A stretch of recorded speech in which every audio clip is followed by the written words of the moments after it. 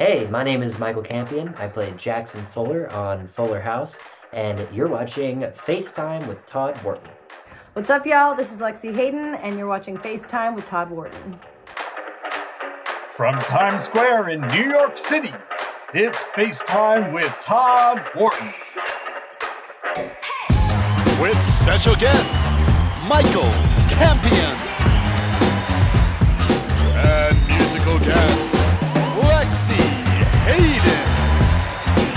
And now, here is your host, Todd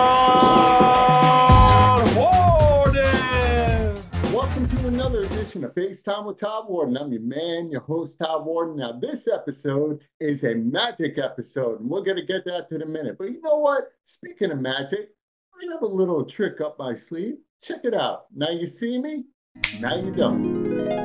Wait, that's not right. Um, I'm trying to figure this out, I think it's time for the news exclusive report.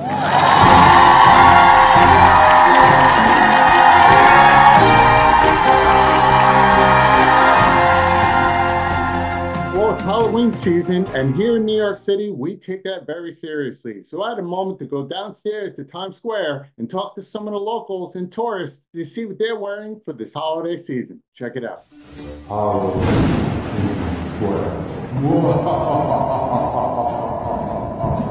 Right, ladies. So, what are you guys being dressed up as Halloween this year? This year I'm going to be a vampire. Vampire. I'm being the Devil Wears Prada. So, you gonna get dressed up with Spider-Man? So, what are you guys dressing up for Halloween this year? Uh, for this year, I'm gonna be Velcro. I'm going as Kim Possible. I'm gonna be Ron Stoppable. Who? Man, come on now. You're not that old. So steal from different businesses around here because we can't afford it in New York City.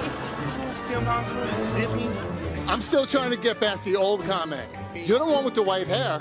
But this is by choice, not by force. So it's correct. Oh, hell no. What are you doing for Halloween this year? So, what's up, man? You look dead tired. So, what are you doing for Halloween this year? So this kid's pretty much um, taking this kid to the garbage today on Halloween. Yo, man, are you okay? You look like you're eating a lot of bananas. Are you all right? Are you sure? You look like you're about to crap out a lot of banana smoothies. So what are you dressing up for Halloween today, man? Uh, for Halloween this year, I'm being Buzz Lightyear. Buzz Lightyear. So do you have a Woody? Uh, I always have a Woody. What are you guys dressing up this Halloween for this year? What?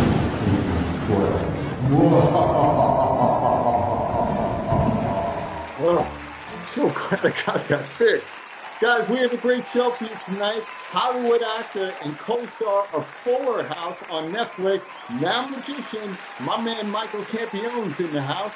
And then later on, country's rising star, Lexie Hayden, is going to be in the house performing a hit song, High Enough, featuring Jason Nix, right here on FaceTime with Cowboys. So guys, stick around, and we'll be right back after these messages. So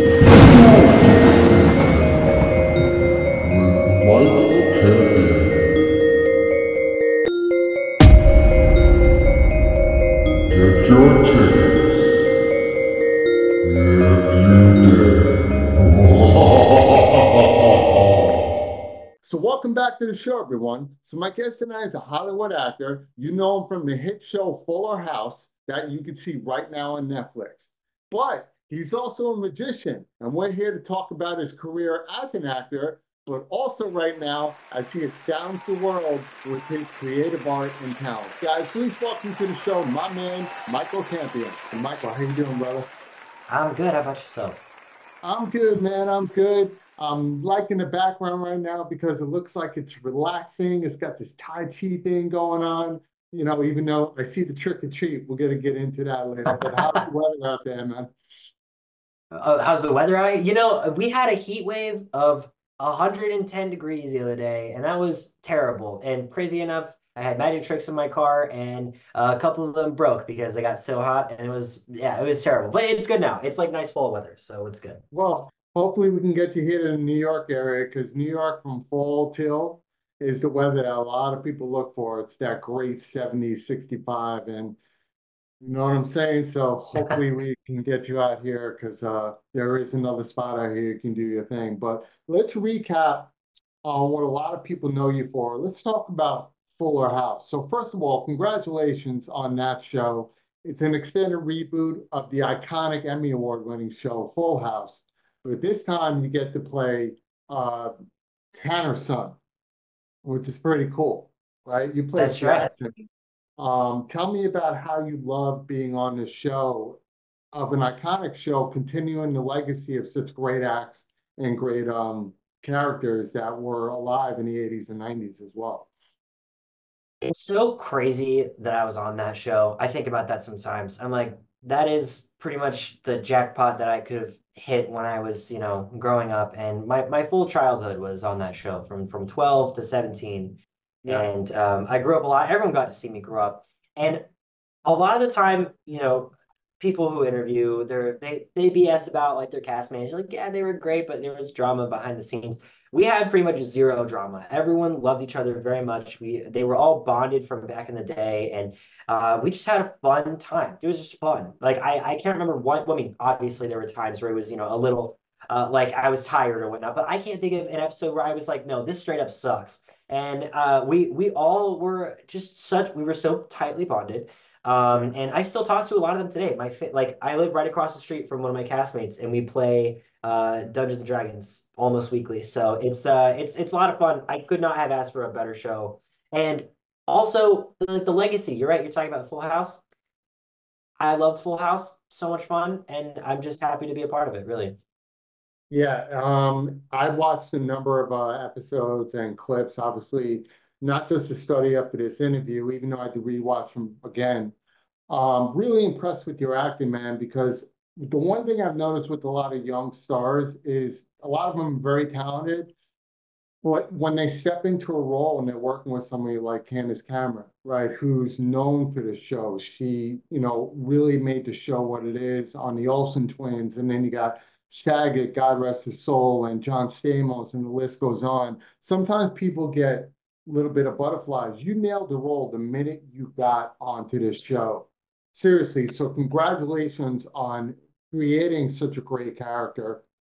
And you were such a compliment to the show. And then um, another great show you were on, I'm going to skip right to it. Uh, Red Ruby, which is a teen show about vampires where you uh, played a human being that fell in love with a vampire. And this show is kind of predicting what you are doing now. But let's recap on this show. How did you like playing um, kind of like, honestly, a typical uh, scientific genre that I think everybody falls in love with, especially around this time, Halloween. Tell me about that show as well.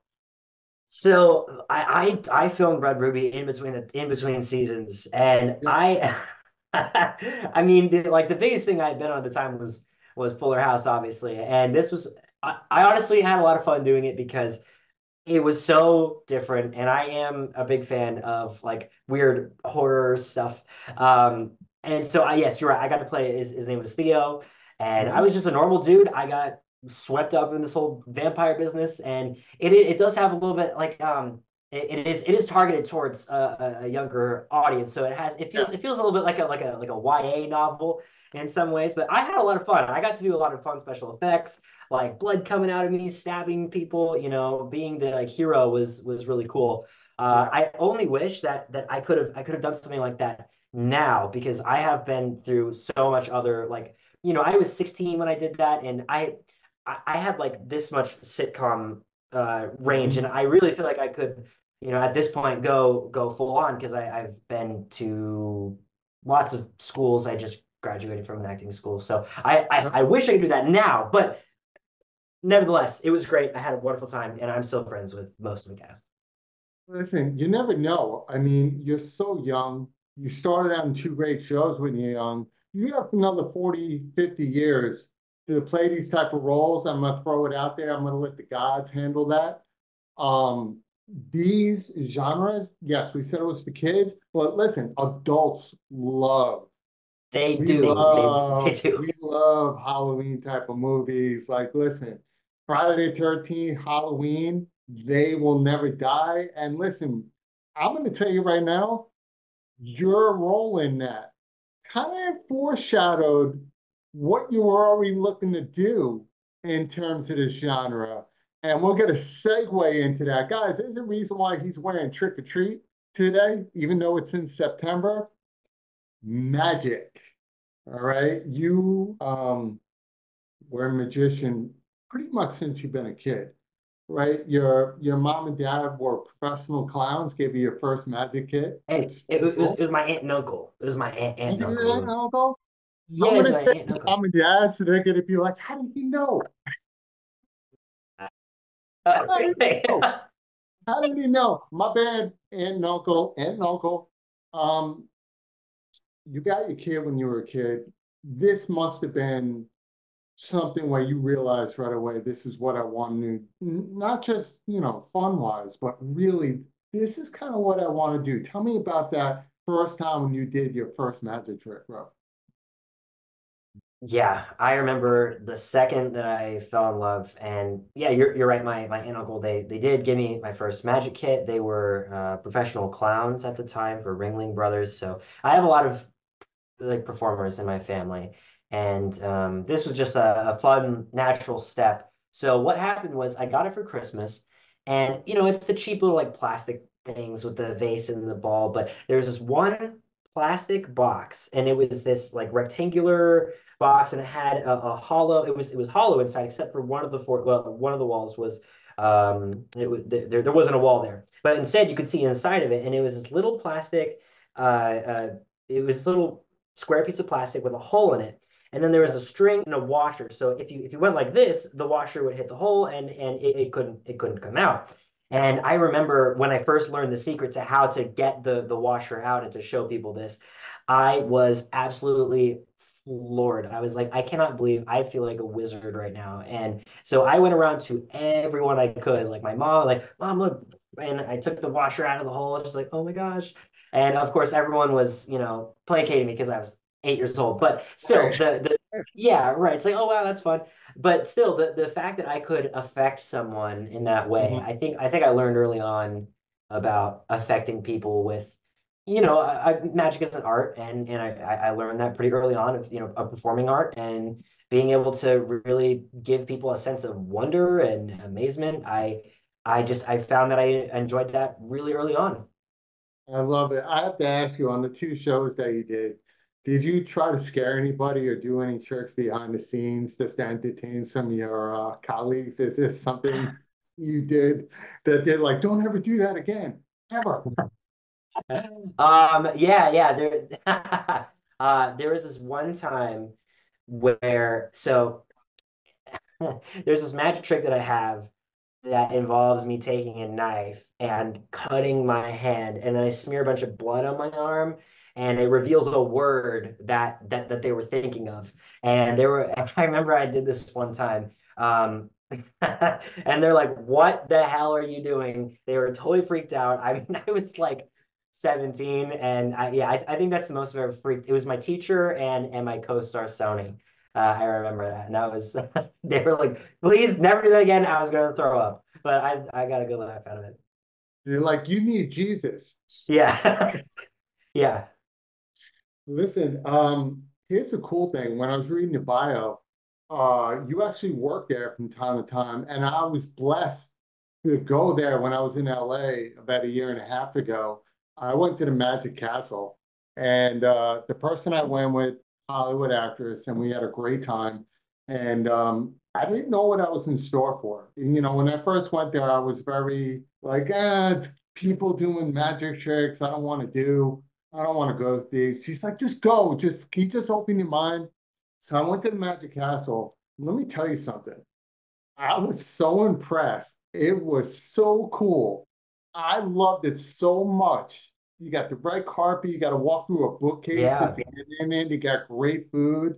How did you land working there? And I know from what I've read, you're impressing the heck out of people. And tell me about the show that you put on over there. That kind of freaked people out. Tell me about that.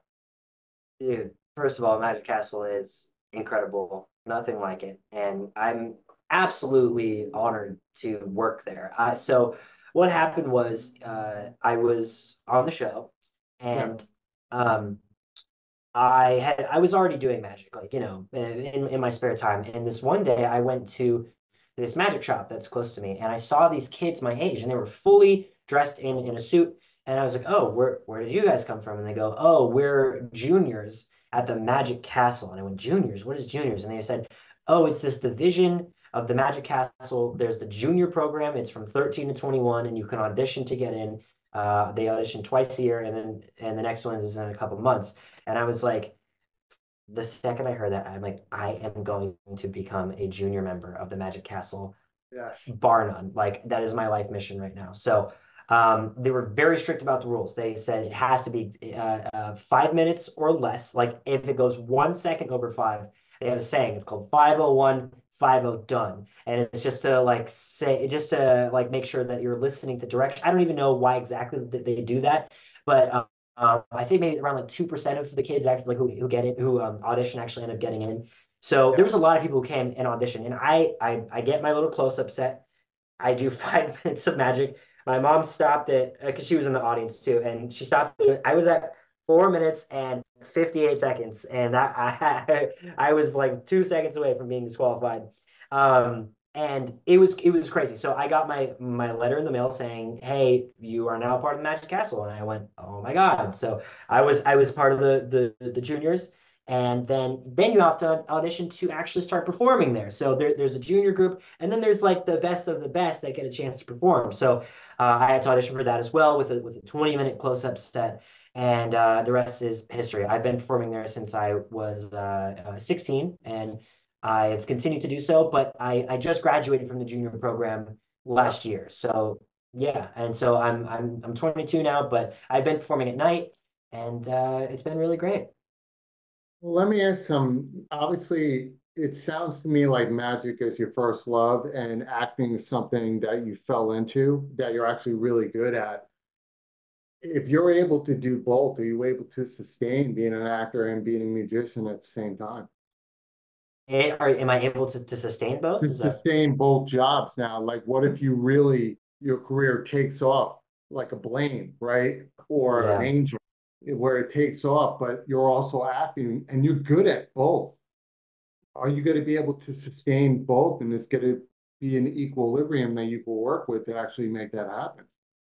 Yeah, that's a great question. I, I I think about that all the time because when I well when I first discovered magic, that actually was after acting. So I Yeah. I, I I was acting first, and magic came along uh, more as a hobby, and then as it grew, I was like, I want to be an actor. I want to be an actor, and then I've been acting for a while, and then after Fuller House, uh, the pandemic hit, and so I got really into magic, and now you're right. It, it is. It's like balancing act because it, it's been this really odd time here in, in Hollywood because not only, you know, we still have effects from the pandemic, but then we had the writer's strike and the actor strike. So from 2020 until 2024, pretty much now, uh, Yeah. we have had this long stint of just instability. So during that time, I have made my career to make all my money doing magic. So right now it is sustaining me financially. And the great thing about magic is that I can pop in and do it anytime. Like if I if I end up, you know, a lot of people think that the goal might be to go and get a show in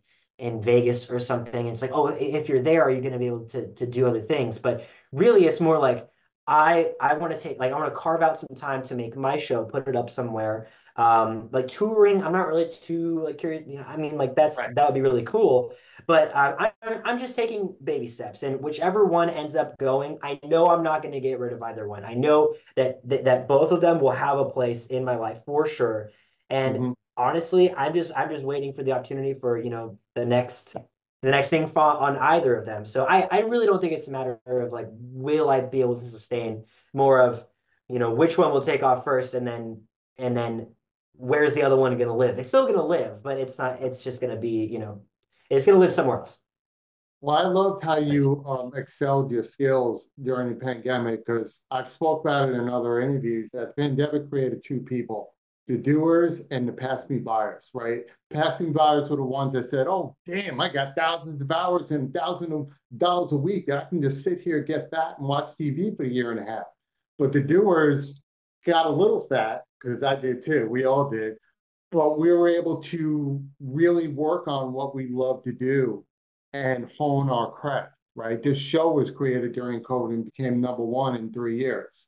So it's about how much you love to do. And like you said, with the, with the pandemic and then the strike, Hollywood has changed, right? So now you actually have a fallback if you want to look at it that way as well, that you have a job. I know actors, known actors that became acting coaches that are doing stuff on the side. I know an actor, I'm not going to name his name, that became an Uber driver, right? Because they had to pay their bills. You happen to find a passion that can pay your bills, which is really cool. And I love that about you, bro, that you are now talented in two fields, in acting and magic. I could see possibly a role in a in a show where you are a magician, maybe help solving crimes based on the magic that just think about that. That would be kind of cool. You know, that's super um, rad. I would love to do that. That's awesome. I'm just saying, I, I throw a lot of marketing ideas. My, my brain is all over the place, man because I love magic. Magic is kind of um, it takes you away from the reality world where anything's possible, right? That's what I loved about magic. That's what I loved about the Magic Castle. Freaked me out so much. Now you have a show. I believe it starts um, September 21st. How long does this show go for, and where is this going to be located? By the way. Yeah, so it runs from now, uh, from from September 21st through November 2nd, and um, it's that's just for my first run. I have uh, been in talks with them to have that be a permanent installation. So I, I would love for this to end up being, you know, uh, uh, once a month or twice a month situation. Who knows? I'm not sure, but definitely from now until the um, very beginning of November, and it is at a place called Beetle House here in LA. There's also one in New York, which is really cool. And um, yeah, it's like a Tim Burton themed restaurant uh, inside, they have their own show where there are Tim Burton characters that come out and they uh, sing and they dance and they make funny jokes, and it's really great. And the, there's Halloween themed food, Halloween themed drinks. Uh, it's Halloween 24 seven there, and so my my Halloween show, my close up 45 minute Halloween show, is uh, uh, just fits right in there. I love it. Now it's called the Michael Campion Haunted Mystery Show. Is that correct? Yeah, the yeah. Uh, the Haunted Mystery Show of Magic. It's a pretty long title. yeah. Long as. Listen, it's magic, goddamn it. Go get your tickets. I gotta tell you, you gotta come to New York and do that because Halloween New York, like New York has a lot of great stuff, but Halloween here, especially around that time, people are dressing up like crazy. You know, you got Comic Con around that time as well. But I could see you doing a live magic show in Times Square at night, which I think would be insanely dope. That would be wild. That'd be really cool. Oh, I'm throwing all this that. stuff at you right now, man. You got the look. You got that goatee thing going on. You got that little magic look. Your hair growing out. People like that's not the same guy from Fuller House. I'm like, guys, he's fully grown up, man. He's got hair. He's got everything, man. This is the same dude, which is doing this thing right now. Now your show, um, it's not just magic. There, there's a little scariness involved, right? You did a little bloody thing behind the scenes, you got knives involved. Is there a favorite magic trick that you love to do? In this show or in like in general? Let's just say in, in general. general. Is there a trick that you always love to do that you always get people and they're just like, how the heck did you just do that? Do you do you want to see a magic? Do you want to see one of my favorite magic tricks? I would love to see a magic trick. And yo, I'm telling you right now, if anything pops into my screen on my side, I'm gonna come out. Anthony knows he'll give me your address. That's what I'm talking about as publicist. I will get your address and come out there and kick the crap out of you, man. oh my gosh, that would be the most incredible magic trick ever. If I showed up behind you. I'm gonna be wow. looking around. I'll be like, wait, what the hell?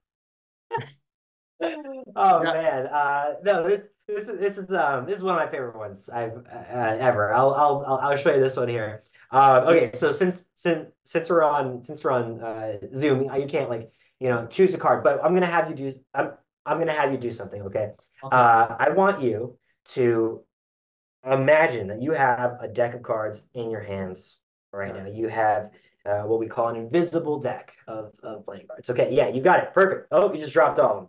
That's cool. Yeah, no, there you go. Now I want you to pick up 52 pickup. 52 pickup. You got to pick Okay. them. You got to pick them all up now. So uh, yeah, go and spread out the cards face uh, with, with, with the uh, faces pointing towards you, so you can see every single one of those cards. And once you see a card that you like, uh, go and think about that. Uh, really choose one of these cards, take it out, flip it over so the back is facing you, and then put it back in the deck. So there's one odd placed card. Yeah, there you go. Perfect. Now, have you have you imagined what this card is? Yes. Okay, great. You can put those cards away. Put those cards away. The first time, what was the card that you were thinking of? Oh, you want me to tell you? Yeah, yeah. T- tell me. The card was seven of diamonds. The seven of diamonds. You know, it's really weird. Is this deck has been sitting here the entire time. Yo, dog. Nah, man. I don't want to hear it. You said the seven of diamonds. We take a look. Looks like there's one card that has been flipped over. No way, guys. I'm telling you right now, this is the first time I'm meeting him. I swear on my mother up in heaven. Swear. Take a look. That is, in fact, the seven. Freaking way. Are you kidding me? Wait, how's that even possible? That that's that's not possible. That is not possible. All right, let me into his screen to show you how we did this. Yo, I don't even I don't even want to know how you did that. That's insane. And the thing is, I don't even have a deck. I just thought about it in my brain, which means you dove into my brain and saw my card. Okay, That's right. now I'm picturing a lot of money. if I could do that, I would not be here right now. I would be. Well, Far that is away. insane. Oh my, Thank you. Thank yo, you. golf clap. Golf I, clap. I appreciate that. I appreciate that. Well, that well, you can expect that and way more at my haunted magic show. All right, I'm uh, I, I'm in awe right now. I'm in 100% in awe right now. Yo, that is incredible. You got the talent, man. You got the bug, man. Thank you for doing. That was insane. Absolutely, man. Absolutely. I'm glad you enjoyed it. And you know what? People out here gonna be like, no, he edited that. Guys, I'm telling then you know what? Then you know what you should do? To make people believe, do a live Instagram or a TikTok and get a bunch of people on there and prove that you can do it live. Or you want Yeah, to do it- something like that. It's hard. Yeah, yeah. I've done lives before. It's it's hard for people, you know, oh, they see something pre-recorded, they go, ah, that's he probably did, you know, some some stuff before. But no, totally 100%. We have never spoken about this. And um, yeah, but I, I can do that live and I can do many other tricks live. So come and see my show. How about that? That is crazy. Guys, definitely, definitely check this guy out at the Beetle House, right? The Beetle That's right. House in LA. You can get your tickets on Ticketmaster. You can go to Beetle House LA to check out more events there as well. Now, if they want to follow you, brother, uh, Instagram, that's where I'm on. What is your handle on Instagram so my fans can know where to follow you for all this? Absolutely. My handle is just my name. It's Michael Campion. That's like champion without an H. Michael Campion, champion without an H. Now, before we go, Child Star. And we're going to say that, Child Star. Is there any inspirational words you can give some people that are looking to get into the Hollywood industry, as well as the magic industry as well? The luck to look to. When you get into my field, being a talk show host, make sure you know how to speak. That's a, that'd be a good idea. You know how Yeah. to ask a question. It's been a long day. But if you have anything inspirational, you can tell these young generation kids on what to do, what not to do to get into these type of fields. Absolutely. You know, it takes, how do I say this? So when I first got into it, it was purely out of the love of the craft. And where I have gotten to so far is one of my favorite quotes is um, uh, luck is just when preparation meets opportunity. And I was very prepared. I made sure that the things I could control, my craft, my, you know, the the, the place that where I was was absolutely ready to meet those opportunities. And a lot of people think that, you know, they can just come out here for a year to LA and like be an actor, but no, you're either in or you're out. Same thing with being a magician. You know, you can have it as a side hobby and that's that's totally fine if you want to do that. But if you're gonna, if you're really serious about it and you want to make it out here, you're really in or you're out. And most of the time, your love and your passion will shine through. And sometimes you'll uh, you'll find out what what you actually like. It's very testing out here. So I'd say that if if you have the bug, absolutely come out here commit 100% and if you feel like you have something similar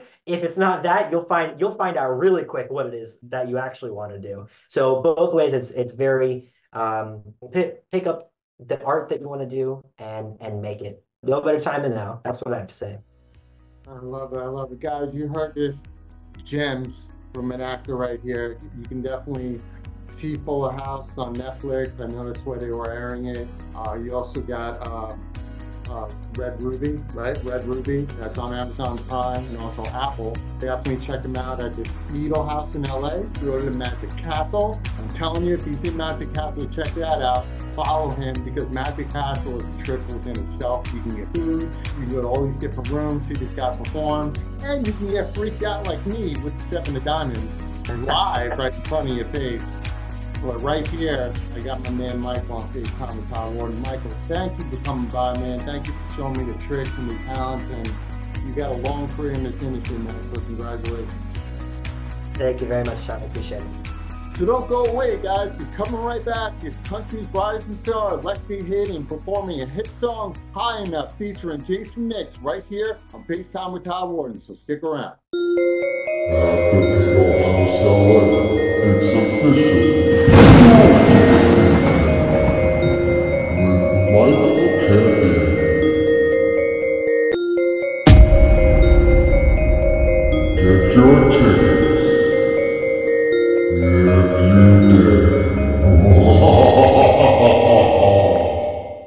up, y'all? This is Lexie Hayden. You're about to watch the premiere of my brand new video, High Enough, on The Todd Wharton Show.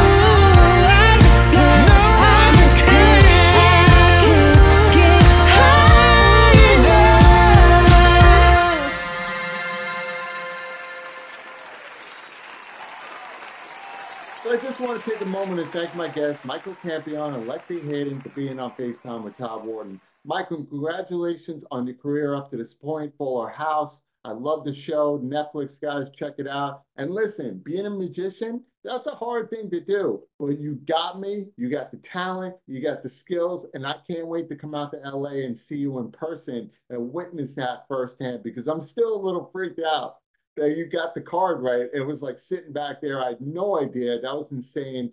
And guys, definitely check them out on all social media platforms. And don't forget to check out my girl Lexie Hayden, country's rising star. Her music high enough and other songs as well as streaming now on all social media platforms. And you will not be disappointed. She is a major talent.